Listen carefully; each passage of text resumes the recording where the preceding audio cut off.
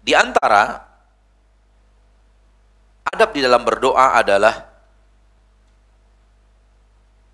berdoa dengan penuh keyakinan akan diijabah oleh Allah. Dengan doa, berdoa dengan penuh keyakinan bahwa Allah akan mengijabahnya. Dan ini di dalam sebuah hadis Nabi sallallahu alaihi wasallam mengatakan idza da'a ahadukum falyazimil mas'alah. Idza da'a ahadukum falyazimil mas'alah Apabila salah seorang di antara kalian berdoa kepada Allah tabaraka wa taala Rabbul Izzati wal Jalalah, maka hendaklah dia benar-benar mengokohkan hatinya bahwa Rabbnya akan mengabulkan doanya.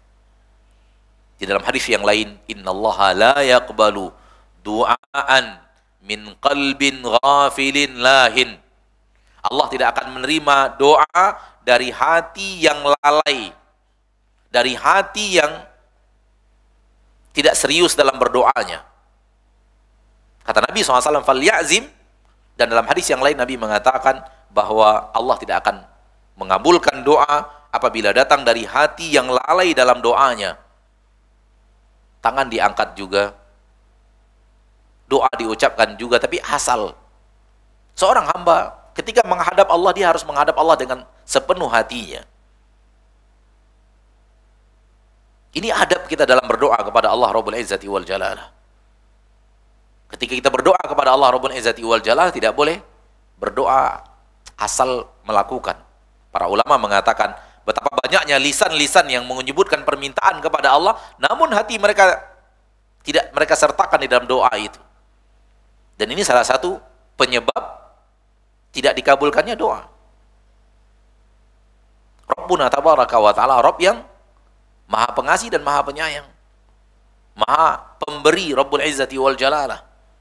Namun ketika kitanya yang lalai, kitanya yang meminta tidak serius, maka ini salah satu penyebab terhalangnya doa dan tidak dikabulkannya doa.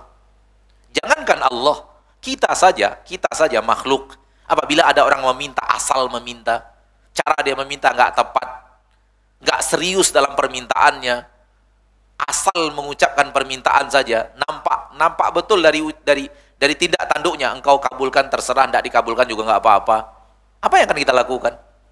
Kita akan marah kepada orang itu. Itu baru kita makhluk yang penuh dengan dosa. Bagaimana dengan Allah Taala yang maha kuasa, yang maha pengasih lagi maha penyayang.